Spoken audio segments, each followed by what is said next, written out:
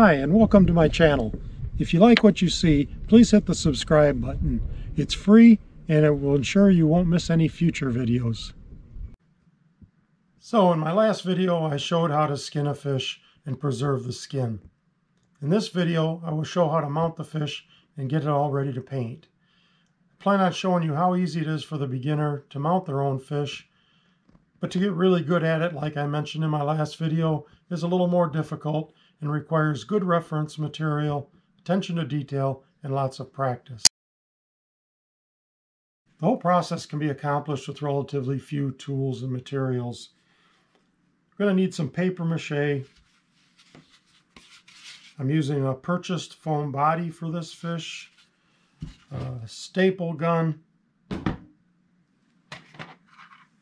some pins, piece of wire, all common materials, and something to card the fins with. I use a soft plastic and some hardware cloth. The first thing we do is test fit the body.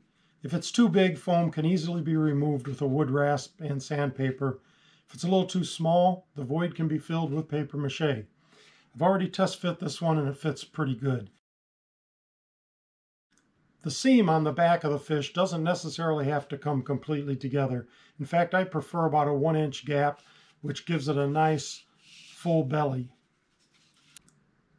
Just make sure the fins are lined up properly, close to the center line of the fish, so your anatomy is pretty close. I also use a knife and cut a slit, so the throat has a place to fit, which gives the interior of the mouth a better look when finished. Now I turn my attention back to the skin. I'm going to sprinkle a small amount of borax on each of the fin butts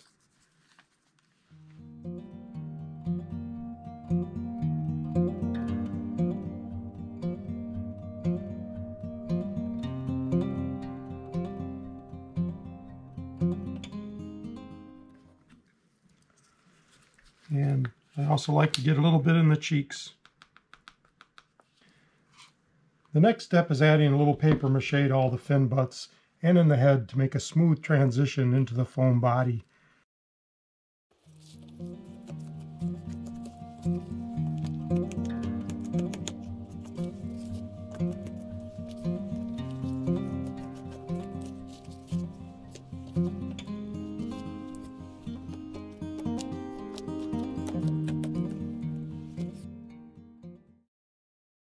Now we're ready to insert the body and position it in place.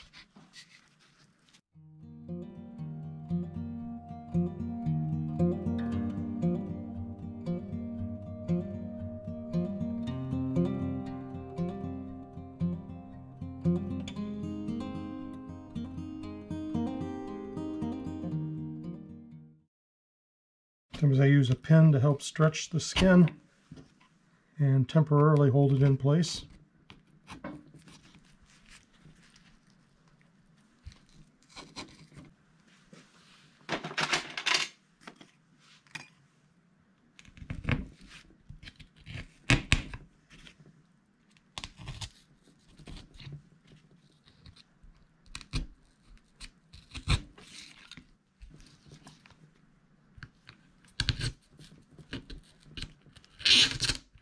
That looks pretty good. Now we staple the skin along the backside into the foam body.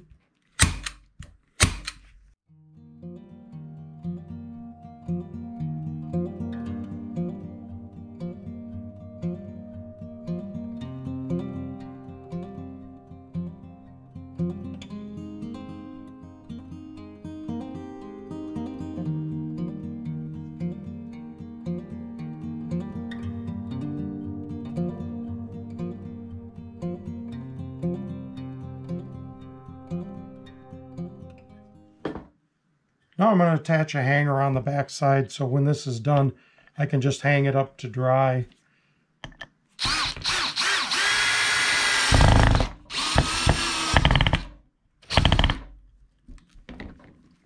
Then we turn it over and focus our attention to the show side.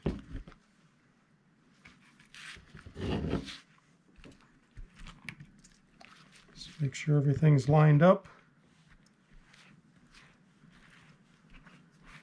Smooth out your paper mache on all the fin butts. And I have a piece of wire I like to insert through the back nostril and into the foam body to position the head.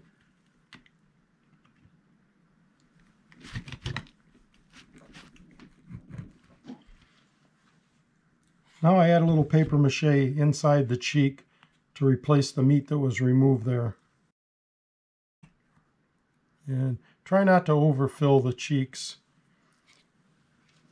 That is one thing I notice in a lot of mounts, a lot of taxidermists way overfill the cheeks. Just, again, check reference material so you know what it looks like. You know what results you're trying to achieve. and usually use my finger on the back side as I'm smoothing it out. The cheeks are not puffy at all. They're almost flat, just a little bit of curve to them. Now we tuck the throat into that slot that we put on the form. And then we put a couple pins to hold it in place.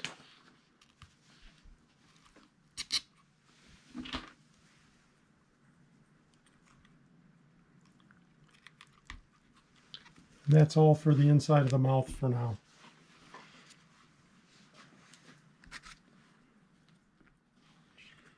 Now it's time to card the fins.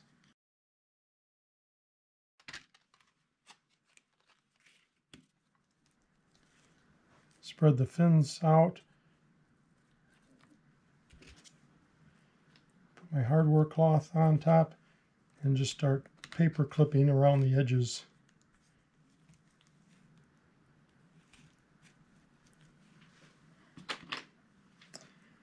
And I insert a pin in the back side to hold it in place.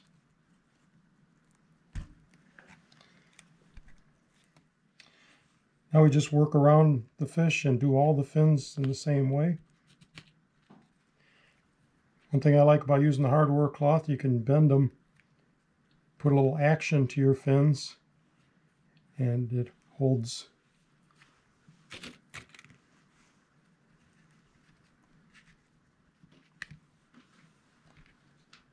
and another pin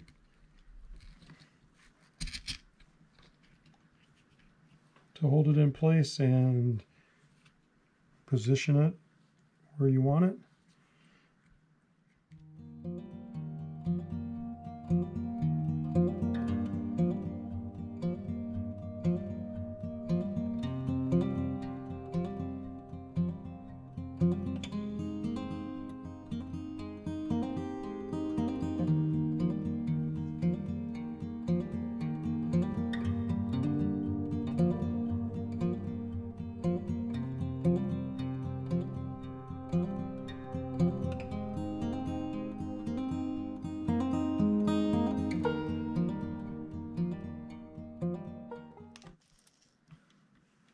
Try to keep things as secure so it doesn't move on you while it's drying.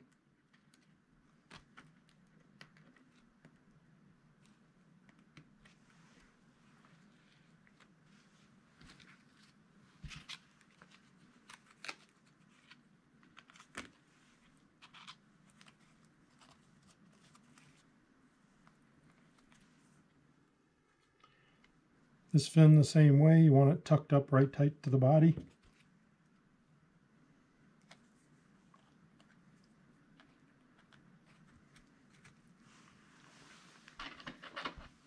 Pin on the back side to hold it in place.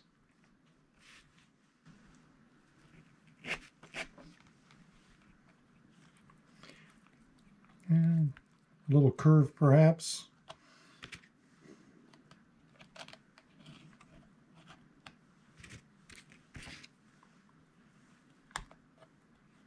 and spread it out as far as you can.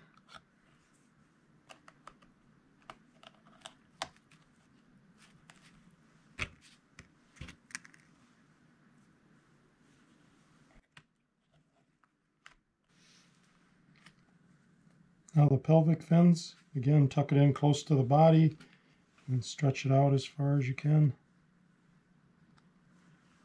Sandwich that with the paper clips. And pin on the backside to hold it in proper position.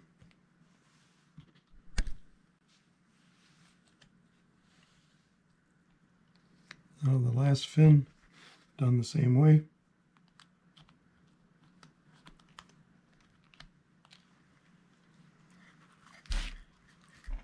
we're going to bend this wire up just a little bit. Lift that head up. And we're, we're getting there. Now we're going to turn our attention on the gills. I'm going to put one pin from the tongue into the body to hold the mouth open.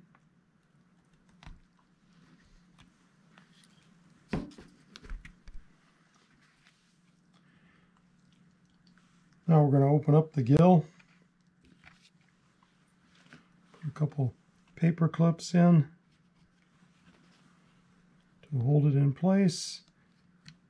And I got some little plastic spacers that I'm going to insert in between each gill filament to kind of spread them apart.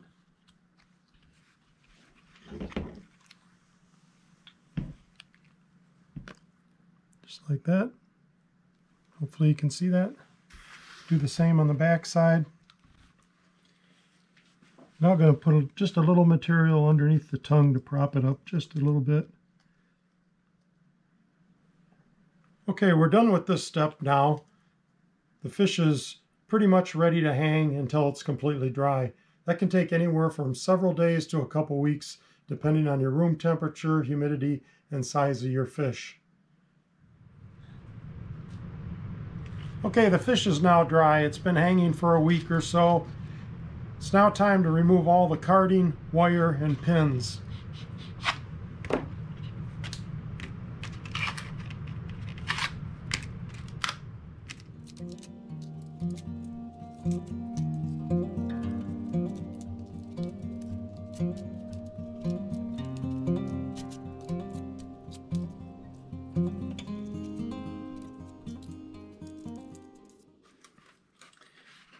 Now we need to back the fins.